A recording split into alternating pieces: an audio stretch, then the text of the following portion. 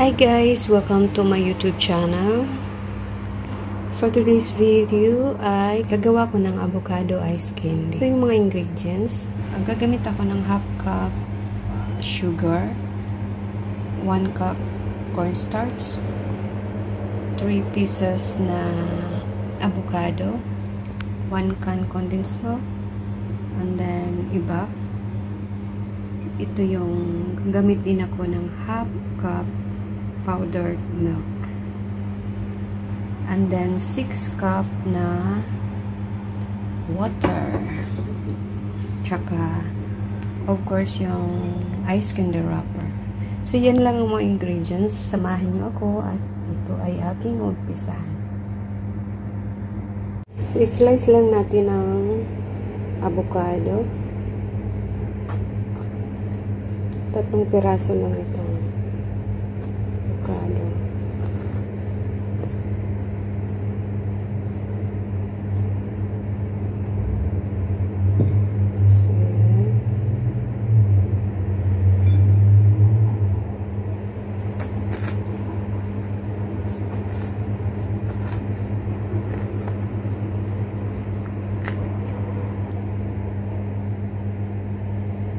one cup cornstarch i-add ko dito sa 6 cup sa water.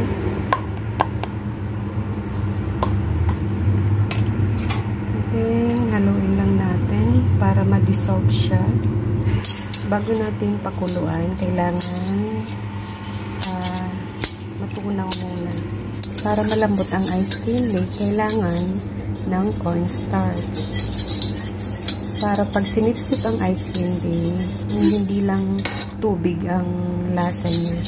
So, malambot siya, creamy siya. Kaya, kailangan itong cornstarch niya. So, ngayon, tunaw na yung cornstarch. So, i-boil na natin hanggat ito'y maluto. So, guys, yan. Habang pinapakuluan natin itong cornstarch, kailangan natin haluin para hindi siya mamuo. mamuo kailangan lutong-luto ang cornstarch niya. Halo-halo hanggat maluto ang cornstarch. Ayan guys, nilagay ko na ang sugar. So, tikman nyo na lang kung okay na yung tamis. Kung hindi pa sapat yung half cup sugar, pwede nyo dagdagan na lang. I-turn off ko. And then, ilagay ko na rin ang powder milk. Ilagay ko na rin ang condensed milk. So guys, ilagay ko na ang condensed milk.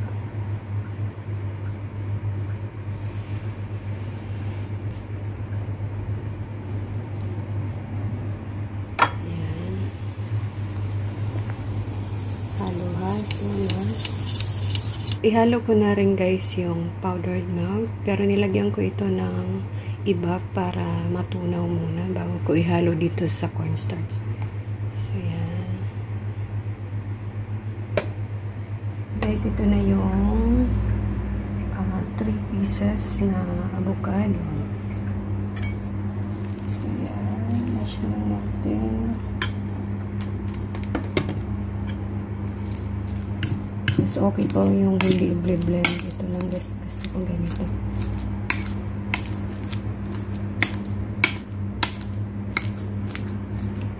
So guys, ayan na yung aking avocado. Minash ko lang siya. Lamig na yung aking cornstarch na. So ihalo ko na lang ang ibak dito.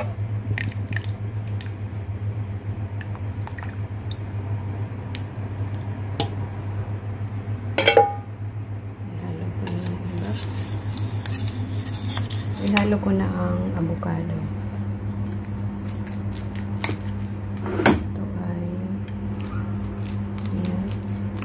binash ko lang to. Hindi ko na hindi na ako gumamit ng blender. Kasi okay naman siya. Para may mangunguya to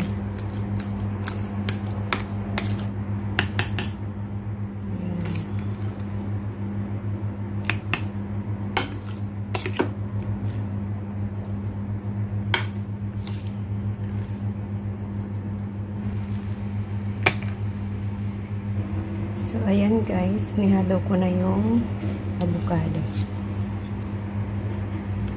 Ayan. So, so pwede na ako na itong balutin.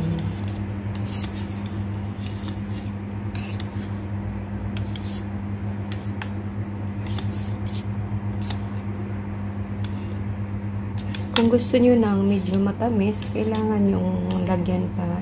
Mag-add na lang kayo ng sugar o kaya condensed milk. Mix-mix lang natin para halo lang maigi. Ito, kailangan natin ito para madali i-mailagay sa ice candy wrapper.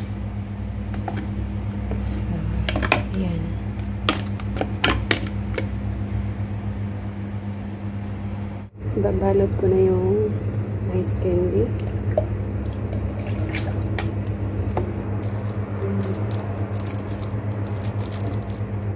So, ito, ilalagay ko dito sa, sa ice candy wrapper. And then, lagay natin.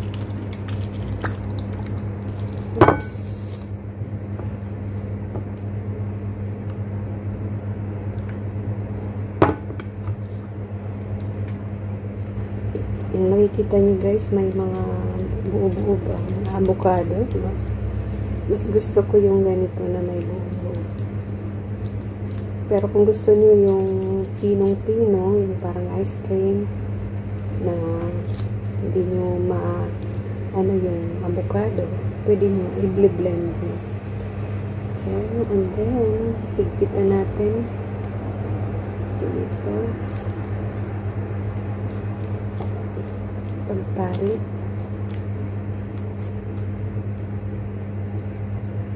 Kailangan mahigpit. Ayan guys.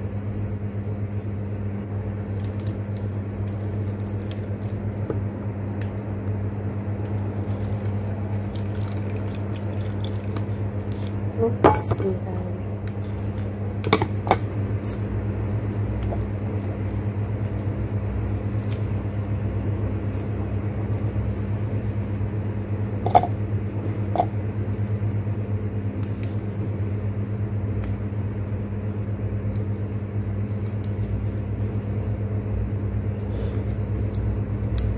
Mas maganda yung hindi masyadong mahaba. Kasi mahirap magbuhol pag ano.